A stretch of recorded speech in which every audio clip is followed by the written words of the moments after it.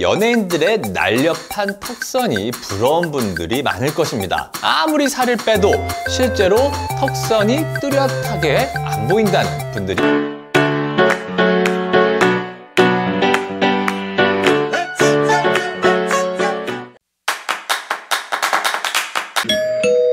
안녕하세요.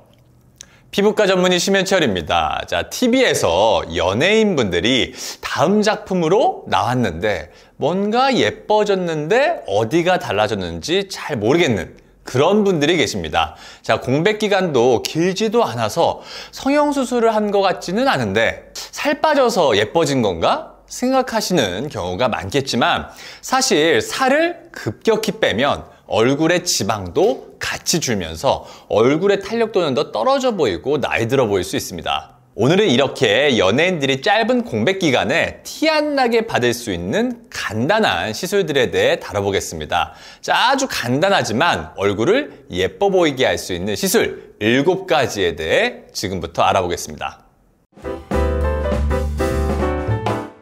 자, 첫 번째는 이마 중앙의 함몰 부위 채워주기입니다. 이마를 전체적으로 티나게 채워주는 것이 절대 아닙니다. 자, 그러면 누가 봐도 저 사람 이마에 뭐 넣었네? 하겠죠. 자, 이마의 뼈는 이마뼈 융기라고 해서 이 두 부위가 돌출되어 있는 경우들이 많고 이마의 이 전두골에서 눈썹뼈가 돌출되어 있거나 마르신 분들의 경우에는 눈썹 주름 근육의 돌출로 이 부위가 돌출이 되어 있고 상대적으로 이 위쪽이 꺼져 있고 다시 그 위쪽은 이마뼈 용기로 돌출되어 있는 분들이 많습니다. 자, 이러한 경우에 이렇게 꺼져 있는 부분들을 살짝 메꿔주는 것도 빛을 받았을 때 이마가 반짝거리고 매끈해 보이게 합니다. 양 사이드에 있는 얼굴의 이마뼈가 높고 중앙이 쑥 꺼져 있는 형태보다는 얼굴의 중앙 쪽이 이렇게 메꿔져서 얼굴의 중앙 쪽 높이가 어느 정도 있는 경우가 입체감이 있고 더 얼굴이 작아 보일 수 있습니다. 자, 우리가 촬영장이나 야외에서 빛이 이렇게 쬐었을 때 이마가 아주 반짝거리는 사람들 부럽죠? 자, 과연 피부만 좋아서일까요? 제가 예전 영상들에서도 언급했지만 피부가 좋아지기 위해서는 피부의 톤도 균일하지만 피부의 결도 균일해야 합니다. 즉, 굴곡진 부분 없이 매끈한 각도를 유지해야지 빛의 반사가 되었을 때도 피부가 반질반질해 보일 수 있습니다.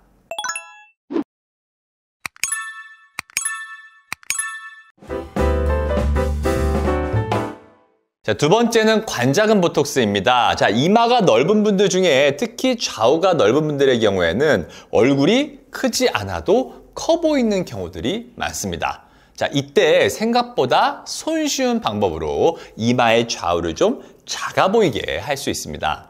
이마 양측에 관자 근육이라고 하는 근육이 크게 차지하고 있습니다. 자, 이때 턱 보톡스의 원리처럼 보톡스로 이 부위를 적당하게 줄여주게 되면 관자근의 크기가 줄면서 이마의 좌우 넓이도 살짝 줄어들게 되고 얼굴 라인도 작아 보이는 효과를 거둘 수 있습니다. 긴장성 두통이 있는 경우에도 약간의 완화 효과도 기대해 볼 수 있습니다. 자, 하지만 용량 조절을 잘 못하는 경우에는 효과가 없거나 위치를 정확하게 넣지 않으면 관자 부위가 오히려 너무 꺼져 보이게 될 수 있으므로 시술자의 skill이 필요합니다. 자, 세 번째는 침샘 보톡스입니다. 방송에서 볼 때 연예인들의 날렵한 턱선이 부러운 분들이 많을 것입니다. 자, 근데 병원에 실제로 오시는 분들 중에서는 아무리 살을 빼도 실제로 턱선이 뚜렷하게 안 보인다는 분들이 많이 계십니다. 자, 사실 이 부분을 깊게 들어가면 여러 가지 원인들이 이 턱 라인에 작용을 하지만 그 중에 우리가 놓치고 있는 대표적인 것 중에 하나가 침샘입니다. 저작근의 뒤쪽, 귀 앞쪽에 이렇게 튀어나오는 경우가 실제로는 침샘, 그 중에서도 귀밑샘으로 튀어나오는 경우가 많습니다. 귀 앞쪽으로 해서 귀 뒤까지 이렇게 불룩한 경우에 침샘 비대로 인해서 튀어나와 보이게 됩니다. 자, 그래서 침샘 비대가 심하신 분들이 이 턱보톡스만 계속 맞는데 원장님 턱 쪽이 계속 튀어나와 보여요 하는 경우가 있습니다. 자, 이때 이 침샘 보톡스를 넣어주면 쉽게 제어될 수 있습니다. 자, 하지만 안면신경이 지나가는 부위이기 때문에 숙련된 의사에게 맞는 것이 중요합니다.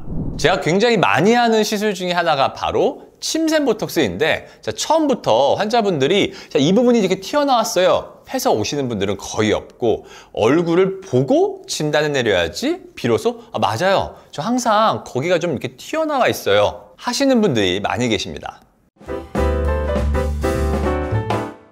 자, 네 번째는 눈꺼풀 위 지방분해로 눈을 더 또렷하게 하는 시술입니다. 병원의 눈꺼풀 위쪽에 지방을 줄이기 위해 오시는 분들이 많습니다. 이런 분들 중에는 이마 중에서 눈썹뼈 부위가 돌출되어 있는 경우를 많이 볼 수 있습니다. 자, 이런 이렇게 뼈 자체의 돌출 말고 잡아보았을 때 눈썹 가쪽부터 이렇게 눈꺼풀 가쪽까지 전체적으로 지방이 많으신 분들이 계십니다. 이런 분들의 경우에는 아침에 눈이 조금만 부어도 눈이 작아 보이고 붓기가 너무 안 빠져요. 이렇게 느끼는 분들이 많고 본인은 눈꺼풀 위에 이렇게 살이 많다고 표현하시는 분들이 많습니다. 자, 첫 번째로는 눈꺼풀 위쪽에 지방이 많아서 쌍꺼풀 수술까지 했는데도 눈 위가 살집이 많아 보이는 분. 두 번째로는 이마 지방 이식 후에 눈꺼풀 위쪽으로 지방이 내려온다는 분들. 자, 세 번째는 눈썹 뼈 자체가 돌출되었다는 분 등등 이유가 여러 가지일 수 있습니다. 자, 이런 경우에 눈꺼풀 가쪽 부위에 지방 분해를 살짝 시키면 평소에 눈이 거의 안 붓는다. 뭐 아침에 일어나면 눈이 안 붓는다. 눈이 또렷해졌다. 라고 표현하시는 분들이 많습니다. 하지만 이 시술의 유의점은 일단 눈꺼풀은 피부 중에 제일 얇은 부위이므로 이 눈꺼풀의 얇은 피부 쪽으로 시술이 들어가면 안 되고 국소적으로 지방이 좀 충분히 있는 해당 부위에만 지방 분해가 들어가야 하므로 시술자의 skill이 굉장히 중요할 수 있습니다.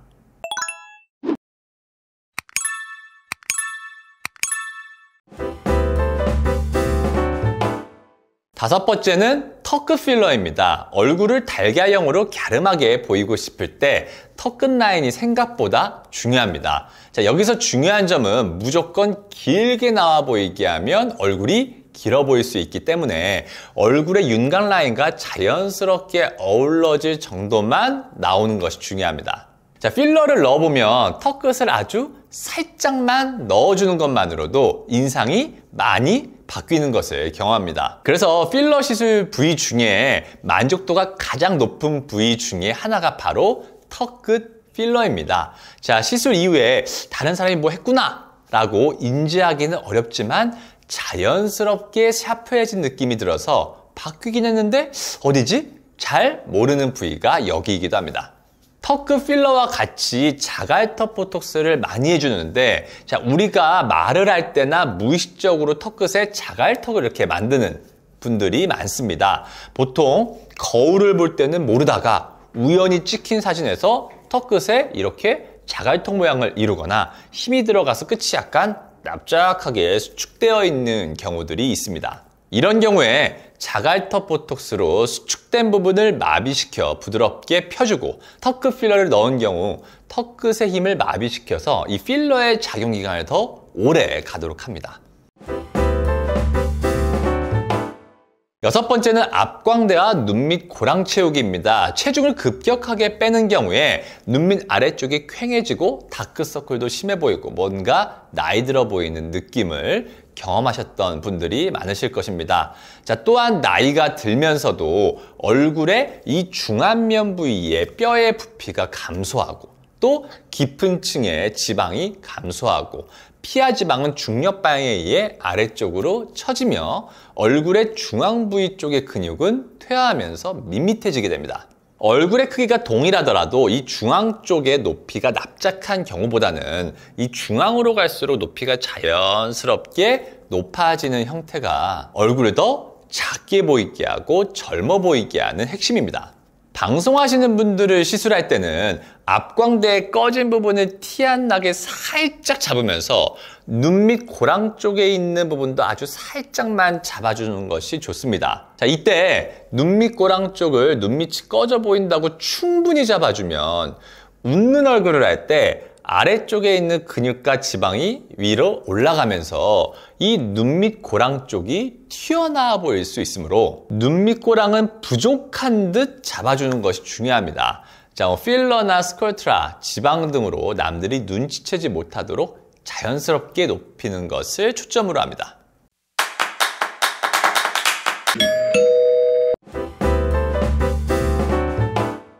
일곱 번째는 팔자 필러입니다. 다른 부위들이 아무리 젊어 보여도 팔자주름의 고랑이 깊은 분들은 얼굴 전체적으로 나이 들어 보이게 합니다. 그래서 필러를 통해서 비교적 간단하게 교정할 수 있습니다. 자, 팔자주름이 완화되어 보이려면, 즉, 젊어 보이려면 팔자주름의 끝부분이 아니라 이 콧볼 옆쪽 부위가 가장 중요합니다. 의학적인 내용이지만 그 부분에 Ristow space라고 하는 부분이 있어서 이 부분을 시술 의사가 잘 찾아서 넣어준다면 적은 필러 용량으로도 큰 볼륨감을 낼 수 있습니다. 자, 하지만 이쪽 부위는 시술 시에 주의를 많이 해야 하는 부위입니다. 그러므로 저는 바늘을 사용하지 않고 끝이 뭉툭한 캐뉼라를 사용하고 있습니다. 자, 주의점 두 가지가 있는데 첫 번째는 두 개의 층으로 깔아주는 것입니다. 자, 움직임이 많은 부위이기 때문에 쉽게 꺼지게 되고 우리가 한 층을 지지대로 넣어주는 것보다는 두 층을 지지대로 넣어주는 것이 더 좋습니다. 두 번째는 팔자주름이 있는 경우는 표층의 피부 결손, 즉 피부에 실금이 같이 있는 경우들이 많으므로 피부의 표층 부분에 한 층을 더 깔아줘서 실금을 해결해 주도록 합니다. 자, 방송하시는 분들의 경우에는 티가 안 나는 것이 굉장히 중요하므로 한 번에 넣을 용량을 한 절반, 2분의 1 정도로만 살짝 잡아서 몇 개월 뒤에 약간 부족하면 다시 잡아주는 형태로 진행하는 분들이 많습니다. 자, 그러려면 그만큼 시술이 간단해야 되고 저 같은 경우엔 딱 두 군데만 살짝 포인트를 내서 시술이 들어가는데 시술 당일에도 붙여놓은 디오덤만 떼면 티가 전혀 나지 않습니다. 지금까지 연예인들이 받는 한 10분 정도 안에 끝나는 간단하게 예뻐지는 시술 7가지에 대해 알아봤습니다. 도움이 되셨기를 바라며 지금까지 연세더세 피부과 원장 심현철이었습니다. 감사합니다.